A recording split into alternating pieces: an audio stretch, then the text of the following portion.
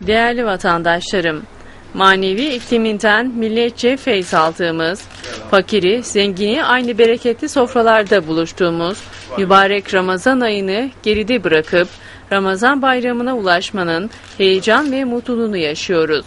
Yeryüzünde, farklı kıtalarda ve farklı coğrafyalarda bu kadar büyük bir aile tarafından kutlanan nadir bayramlardan birisidir Ramazan bayramı.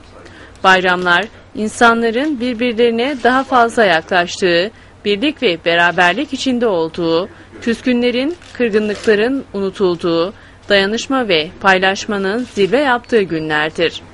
Bu müstesna günlerde en yakınımızdan başlayarak küçüğümüze, büyüğümüze selam verip bayramlaşmak kadar insana haz veren başka bir duygu olmasa gerek.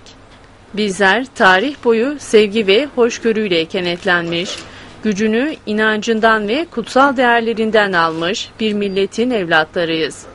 Böyle güzel bayram günlerinde diğer günlerden daha hoşgörüyle, sevgiyle, birlik ve beraberlik içinde olmalıyız.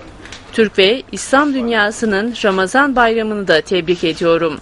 Şehitlerimize rahmet, gazilerimize aileleriyle birlikte sağlık ve mutluluklar diliyorum.